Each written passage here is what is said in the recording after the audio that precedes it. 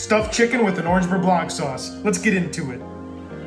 In a medium sized pan on medium heat, add some olive oil, shallots, and garlic, season and cook until translucent, then add about a cup of spinach. Next, we're gonna take a chicken breast, butterfly it, and pound it till it's about a quarter inch thin. Season the chicken with salt and pepper, stuff the chicken with some prosciutto and some of the spinach and shallot mixture. Top with some mozzarella cheese, then roll the chicken up nice and tight. Next, bread the chicken in flour, egg, and breadcrumb, then fry until golden brown. Bake in the oven set to 350 degrees for around 15 to 20 minutes, or until the chicken is 165 degrees internally. For the sauce, combine a fourth a cup of dry wine, half a cup of orange juice, and half a cup of heavy cream. Let the sauce reduce and thicken slowly, then add some chopped parsley, season with salt, then gently melt 3 tablespoons of butter into the sauce. Once the chicken is done, let it rest for 5 minutes, then slice into 1 inch pieces. Now it's time to plate this up. We're going to take a couple pieces of chicken on the plate, drizzle some of the Orange Beurre Blanc sauce on top, garnish with some parsley and microgreens, and enjoy.